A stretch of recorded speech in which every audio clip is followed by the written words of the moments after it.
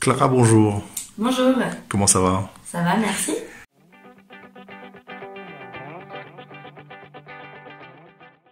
Alors, je suis venue parce que j'avais des problèmes d'énurésie. Donc, euh, pour les gens qui ne savent pas, c'est euh, faire pipi au lit la nuit.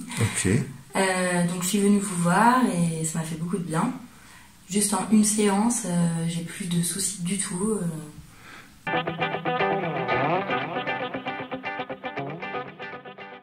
J'ai beaucoup, euh, je me suis beaucoup remise en question. J'ai pris du positif en moi et ça fait vachement de bien à ma personne, je pense.